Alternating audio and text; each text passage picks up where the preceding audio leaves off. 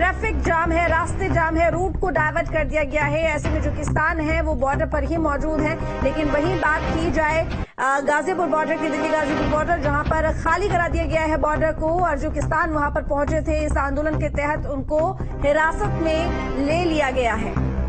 किसान आंदोलन को लेकर एक एक अपडेट हम आपको दे रहे हैं। किसान आंदोलन 2.0 किसान संगठनों का ये दिल्ली कूच, जिसमें किसान दिल्ली की तरफ़ बढ़ने का प्रयास कर रहे हैं, लेकिन तमाम बॉर्डर्स को सील कर दिया गया है। किसान नेता, केंद्रीय मंत्रियों की बातचीत जो हुई थी कल, वो बेनतीजा रही और आज तमाम किसान दिल्ली की तरफ़ बढ़ने लगे। तो बातचीत के बाद 26 किसान संगठनों का ये दिल्ली कूच, जिसके तहत प्रदर्शन किया जा रहा है।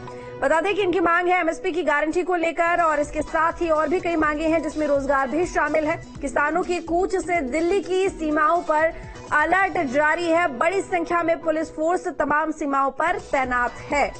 साथ ही चिल्ला बॉर्डर और कालंदी कुंज बॉर्डर पर भी विशेष नज़र रखी जा रही है कि कोई भी किसान इस सीमा से दिल्ली में प्रवेश न कर पाए।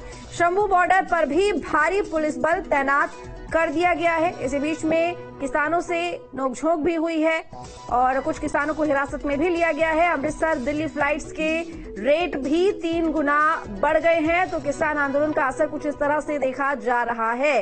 तो किसानों के कूच को लेकर ट्रैफ़िक भी डायवर्ट कर दिया गया है।